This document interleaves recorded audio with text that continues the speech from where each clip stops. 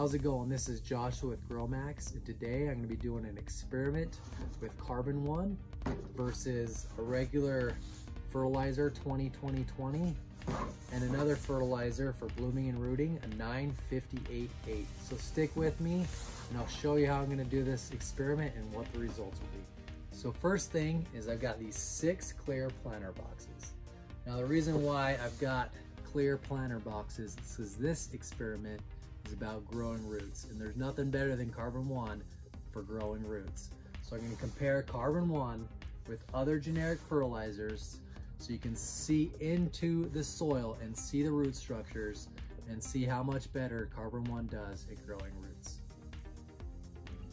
So I've gone ahead and drilled holes in these clear containers for drainage and I filled them up with pretty sandy soil because that's what I have here where I live and I fill them up with water and let it drain through so they're at 100% saturation.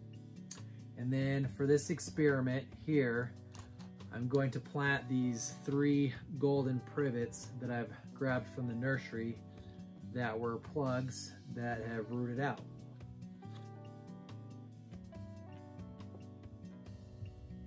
Okay, so we've planted these three privets and I've also added some wood shavings so when I water these plants, it'll help displace the water so I don't get divots in the soil and also help the soil to not get too dry. So as you can see on these other three clear containers, I'm gonna do a test on sod. I've done the same thing on these as I've done with the others, as I've drilled holes in the bottom for drainage and I filled it up with pretty sandy soil and watered them in real good so that the soil is at 100% saturation and went ahead from the same piece of sod, cut three separate pieces to go ahead and plant in these containers. Now that these have been planted, I'm gonna go ahead and tell you what treatments I'm gonna do on each one of these. On this side, I'm gonna use a generic fertilizer that's a 20-20-20. One in the middle, I'm gonna use another generic fertilizer that's specifically for rooting and blooming and it's a 958.8. And then on this side, I'm also gonna use the 20-20-20, but in tandem, I'm gonna add carbon one to it. Now for the sod, I'm gonna do the same thing. I'm gonna use the 20-20-20, the 958.8, and then the 20-20-20 as well, but with that, I'm gonna add the carbon one. We're gonna see the results. All right, so I got 16 ounces of water and I put the recommended amount for the 20-20-20 and kept eight ounces in here and then eight ounces in this bottle. So I'm gonna water each one of these plants with eight ounces of water with the recommended dosage for each treatment. And I'm gonna do basically a foliar slash soak on each one of these. So everything gets the same amount.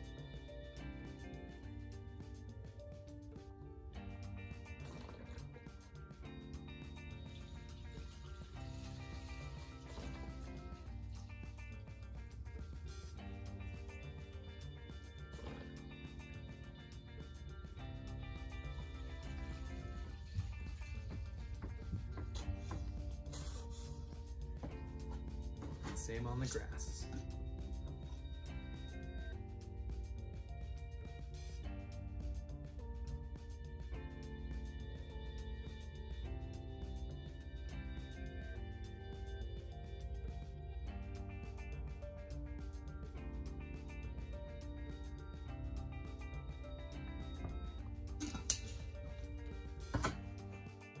All right, now I mix 16 ounces total with the recommended dose for the bloom and root, the 958.8.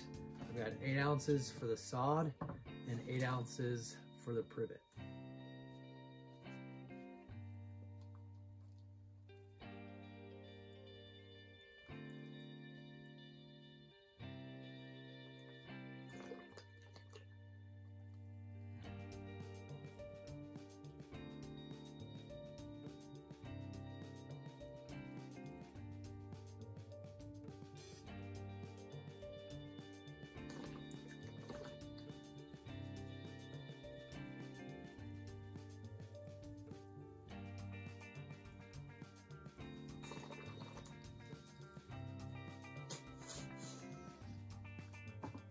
For the sod.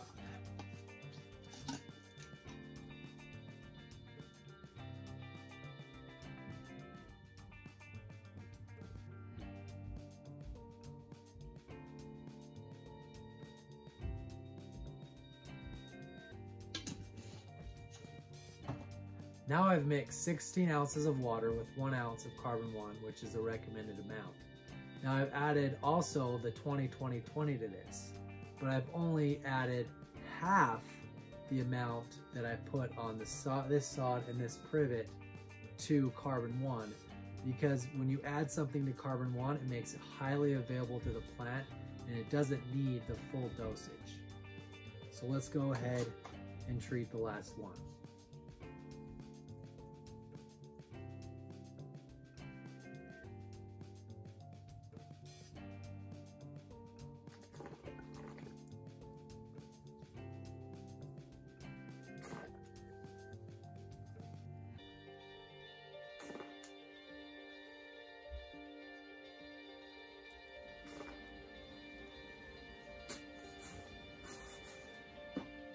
The side.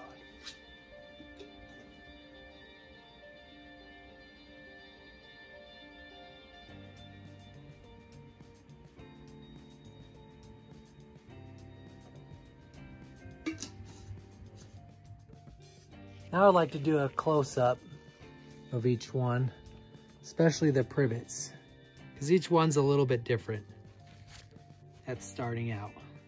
So this one here that was treated with the 20-20-20 there's a couple new ones that are going there. On the 958.8, it had this one that kind of shot up previous. It has a couple other new ones through here that are new buds coming up. Now this one that was treated with the carbon one, I purposely picked this one that didn't really have any new stuff on it at all. Except maybe that one, but looks like it's struggling quite a bit.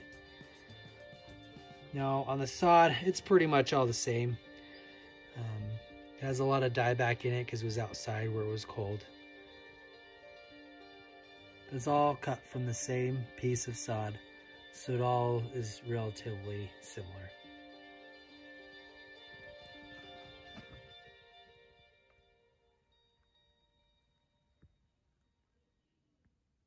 Last thing I wanted to show you guys is where I'm going to be keeping this experiment up in an upper room. Um, that's uh, southwest facing, so it gets a good amount of sun. And so you can see that they all get pretty much the same amount of sunlight um, throughout the days. And I also wanted to mention too, um, these uh, clear planter boxes came in these uh, cardboard boxes. And so I cut off the tops and the bottoms and I'm gonna be basically just keeping them covered because um, I don't want any sunlight um, or UV rays getting to the root zone of the plants. And also I don't want any algae uh, to be growing on the sides and the soil where it's getting sunlight. So anyway, stay tuned for uh, future videos. Um, I'm going to show the results here, what it's been looking like here in a couple weeks or so. And this is Joshua signing out.